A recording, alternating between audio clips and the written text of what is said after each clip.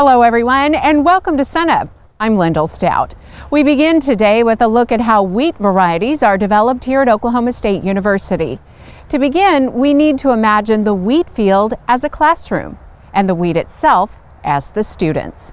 Here's SunUp intern Samantha Smith to explain. From first grade to 12th grade, potential wheat varieties move through class levels as they approach their release. So this is the 2014 sixth grade class. That means they have been in this program for six years now. They've been in the program in different states. Each one of these little rectangles or plots uh, represents a different line. The progeny of this line will breed true so that three, four years from now, when they become 10th, 11th, and 12th graders, they could actually be commercialized and released as variety. Up until this point, we didn't have that kind of distinguishing characteristic. This is the middle of the program. It's also the centerpiece of the program because we have about 2,000, a little bit more than 2,000 students in this nursery that we want to take and figure out which ones have the best potential to make a variety, again, three or four years down the road. We do that through very careful selection for all those vegetative and reproductive characteristics we want to get down to about 250 because that's about the number we can reasonably test through replicated trials across the state. The current sixth grade class is one evaluated for dual purpose wheat. So we're not actually measuring forage production, we're measuring those characteristics that contribute to forage production. So we look for canopy closure, but we also look for those things that provide good canopy closure. How fast it comes out of the ground, how healthy that seedling is when it comes out of the ground, the, the seedling vigor, and also the growth habit, just how how um, erect or how prostrate that plant grows, and there's it's a wide variation. At this stage in production, wheat won't look as good as it does here in the greenhouse. Carver took us out to the field to show us why every variety isn't necessarily suited for dual purpose production. So here we're looking at a, uh, in genetic terms, this is what we call a, an F6 line, so it's six generations beyond the cross that was made, uh, again, six years ago. Uh, this is a line that breeds true, um, we're looking at the forage characteristics uh, during this time of November. Here we're looking at the ability of, that, uh, of this line to close the canopy because the canopy closure usually means a good healthy canopy for grazing later on. We want to close that ground up to minimize moisture loss through evaporation.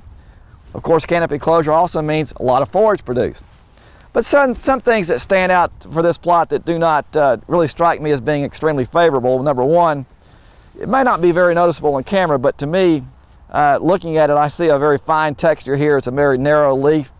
Um, and it also grows uh, somewhat prostrate. We didn't really get very good emergence. That, that there may be other reasons besides genetics that contributed to that, but we try to take that into account. So overall, I wouldn't rate this, this uh, particular plot as one that would be uh, favorable uh, for a grazing system. Now that doesn't mean it wouldn't be good for grain production. But here we're trying to take the best of both worlds. We want something that provides uh, a good, uh, good grazability uh, to the dual purpose producer, but also good grain production in the end. We guide and we structure our breeding program really about that dual purpose program. It, it, it puts a stress on the plant that we cannot get otherwise. We want to stress that plant so we can see how it tests under very harsh conditions that, you know, in Oklahoma we, we get our share of. Let's go look at another plot, maybe a more favorable one. Here's another progeny in the same uh, generation of inbreeding, so we're six years beyond the cross. I'm looking at uh, a more favorable canopy here. We're, we're not yet at canopy closure, but I see a very good growth habit. It's not extremely erect, it's not certainly not prostrate. It's somewhere in the middle, and that's exactly what we're looking for. I'm also looking at very good and healthy tillers. Now this plot is yet to be, uh, we have yet to remove the forage, and we'll do that mechanically. We won't use cattle because I like to get out here and look at the, the, the uh, recovery of these plots after the forage have been removed, and we can do a lot better job of controlling how much we remove using uh, basically lawnmowers. And we do that repeatedly throughout the fall season. I really like the way this looks in terms of its potential grazability. I think it's going to have good persistent once the forage is removed. You want to see that vegetative recovery so you get more forage production.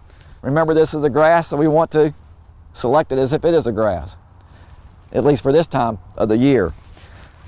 I, I would be very pleased to see how this, uh, this does in terms of grain production later on. Carver is the expert on this class and says the outcome looks promising. I, I, know what the genetics are that go into it, and I know each and every year we're putting just a little bit better genetics into the program, so we hope to get something better out in the end. So every year is, is, is different. Every year I get more and more pumped about it. So um, I, have, I have extreme confidence that this class is going to produce something in the next four years. And with Carver's work, that something will be good for both grazing and grain. For SunUp, I'm Samantha Smith.